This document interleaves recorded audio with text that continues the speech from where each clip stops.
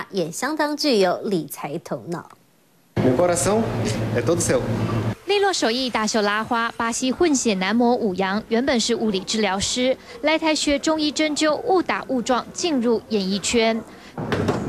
靠着过去在巴西开中国菜餐厅的经验，两年前砸下六百万替妈妈开咖啡店。妈妈在台湾进来了快五年吧，然后就是在家里没事做，然后想给妈妈一个机会，比如说。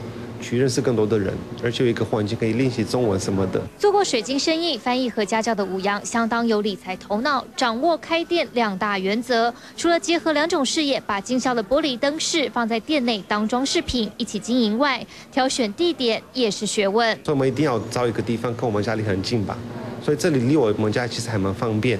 好，那第二个条件呢是什么？就是租金。隔壁的那一条路叫南平路，跟我们一半的大小的店。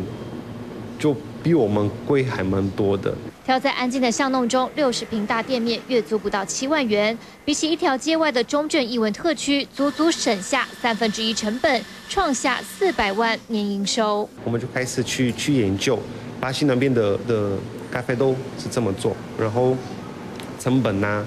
加钱呢，就是包括那个运费进来台湾的税，烘焙之后包装到底要多少钱？我们才发现，哇，真的是可以做得起来。今年五羊更计划将老家的咖啡豆引进台湾，自己烘焙做出品牌，继续开创副业。三立新闻蒋红如、陈怡杰桃园报道。